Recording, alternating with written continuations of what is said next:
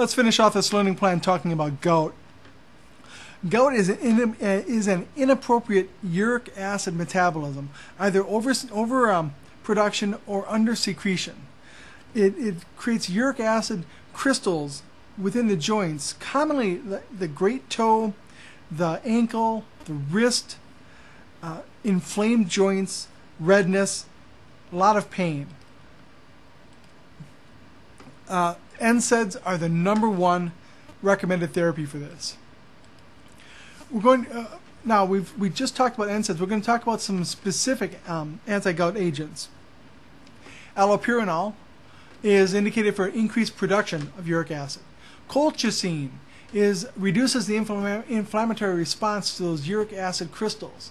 And probenecid increases the excretion of uric acid. Now remember, gout is inappropriate uric acid metabolism, either overproduction or under secretion. So we have three different ways of treating this. Stop producing it, get rid of it, and reduce inflammation. Allopurinol inhibits xanthine oxidase, which prevents production of uric acid. Uh, some Steven, Steven Johnson syndrome is the main major side effect. It can cause renal failure, agranulocytosis, and anemia. We'll monitor I&O carefully with this. We're going to encourage, we're going to push fluids. Two and a half to three liters of water a day. We're going to assess for a rash. That's major. Remember, Steven, Steven Johnson syndrome is a high risk for this. We're going to monitor uric acid levels using blood tests, and we're going to check the CBC, watching out for um, aplastic anemia. Colchicine reduces the inflammatory response to the uric acid crystals. Agranulocytosis again, leukopenia, aplastic anemia, diarrhea, nausea, and vomiting. Those are all the major things we're going to be watching for. Again, monitor I&O. We're going to push fluids one more time, 2,500 to 3,000 milliliters, two and a half to three liters a day.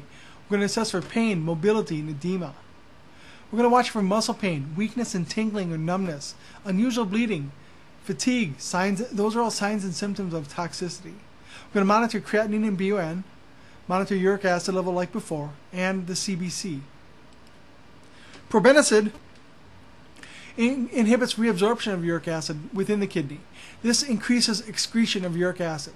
This is used to prevent gout, does not treat it once it's present. Most common side effects, nausea and vomiting and aplastic anemia, also causes headache and uric acid kidney stones. I&O, push fluids, two and a half to three liters a day. Pain, mobility, and edema, and all the other labs, the BUN, the creatinine, the uric acid level, and CBC.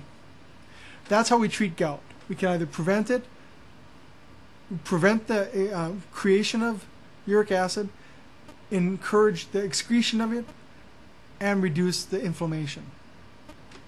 That's gout. That's the end of Learning Plan 10.